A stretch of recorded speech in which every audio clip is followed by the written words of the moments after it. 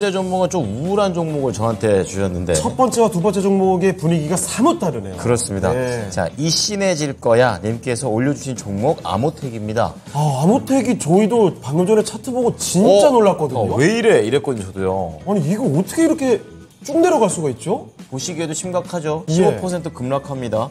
지금 12,610원까지 내려가 있고 이게 어, 월봉으로 찾아보니까 재장, 그러니까 2020년 1월에 장중에 최저가까지 내려갔을 때 거의 그 근처까지 가 있어요. 그러니까 최근에 어마어마하게, 어마어마하게 많이 내려간 거죠 지금. 어, 그 중요한 건 둘이서 계속 왜 떨어졌나 찾아보고 있었는데 네. 안 나와요. 아니 이거 지금 그 전에도 사실 계속 조금씩 밀리다가 오늘 훅 떨어집니다. 그렇죠. 이거 진짜 많이 놀라셨을 것 같은데. 네, 우리 시청자님께서는 음. 지금 9%에다가 2만 7천, 2만 700원에 사셨거든요. 아 이거 거의 반토막 다 돼가네요. 네, 그래서 왜 떨어지는지를 궁금해하고 계십니다. 이야 이거 그래서 정말 네. 걱정입니다. 아모텍에 대한 어, 기업 분석 그리고 오늘 지금 왜 이러나 좀 알아보도록 하겠습니다. 전문가님 이번에는 아모텍입니다. 어떻게 진단하십니까? 네, 어, 오늘 이런 종목군들이 꽤 많이 나오고 있습니다. 뭐 상당히 조금 뭐 이렇게 좀 흘러내리다가 급락하는 종목군들이 상당히 좀 많이 나오고 있는데, 자, 요거는 어제가, 어, 저 1분기 실적 발표 시즌 마지막 날이었었죠. 그래서 그 실적 발표에 대한 실망감들, 뭐 요런 게 작용했다라고 볼 수 있을 것 같아요. 뭐 이 아모텍뿐만 아니라 대부분의 급락하는 종목들이 오늘, 어, 뭐 그런 이유다라고 보시면 될 것 같고요. 자, 실적이 역시 좀 실망스럽게 나왔습니다. 작년, 지금 일단 발표하기 전에 예상되기는 매출액이, 1분기 매출액이 예상치가 한 607억 정도, 그러니까 전년, 작년 1분기가 570억 정도였으니까요.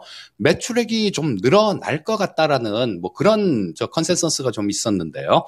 이게 매출액이 450억 밖에 안 나왔습니다. 그러니까 늘어난 게 아니라 도로 줄어들었다라는 얘기가 되는 거죠. 그리고 어, 영업이익 역시 마찬가지였습니다. 영업이익이 1분기 예상치가 31억 정도 이게 흑자가 날 거다라고 그렇게 예상이 됐었는데 영업이익도 적자가 났어요. 적자가 났는데 전년 동기에도 뭐 적자는 적자였습니다.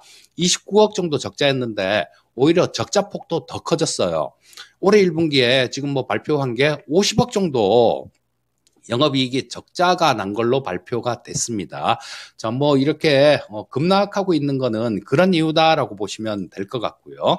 자, 우리 시청자님께서는 어, 좀 벌써 좀 손절매를 이렇게 감행해야 될 시점은 놓쳐버리신 것 같아요.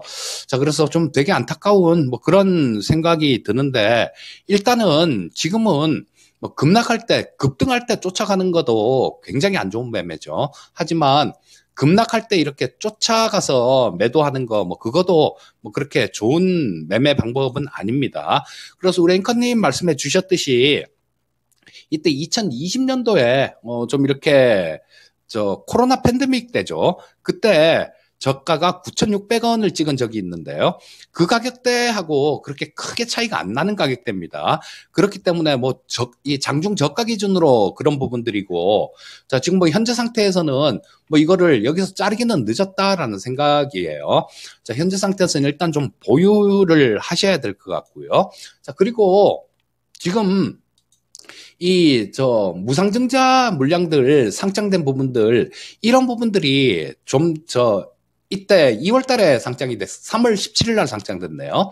이때 물량들, 이런 것들을 조금 보유하고 계시던 분들도 예, 지금 한꺼번에 물량을 던지는 것 같아요. 그래서 어, 일단 뭐 좀 현재 상태에서는 조금 기다려 보시는 게 맞을 거고 다만 음, 이게 실적 부분들이 실망을 시킨 부분들이 있고요. 그 다음 어 뭐 저 이 저 수급적으로도 지금 오늘 거래량이 굉장히 많이 터지면서 밀린 부분들이 있기 때문에 이 부분들을 그렇게 쉽게 뭐 빠르게 회복하기는 어려울 것 같습니다. 그래서 지금 현재 상태에서는 보유 의견 말씀드리겠고 조금 어 기다려 보시면 어느 정도 반등이 나오는 구간들은 있을 것 같습니다. 반등 목표치는 어, 어제 종가 수준 정도요. 뭐, 요 정도는 시장 분위기가 좀 좋아지면 뭐 회복할 수 있지 않을까 싶은 생각이 들고 어제 종가 근처 뭐 한 15,000원 정도가 되겠네요.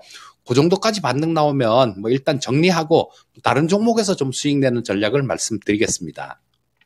아 드디어 궁금한 게 좀 해결됐어요. 예. 자, 오늘 시장의 전반적인 흐름이라고 말씀하시네요. 그렇죠. 실적에 대해서 실망이 나오면 이렇게 좀 급락을 하는 거고 그렇기 때문에 아모텍은 급락한 만큼 반등도 나오겠죠. 예. 15,000원 선에서 정리를 해보자고 얘기를 해주셨습니다. 그러니까 미리 나가지 마시고 우선은 놀란 마음을 진정한 다음에 보유하시다가 15,000원에서 현명하게 한번 나오셨으면 좋겠습니다. 네.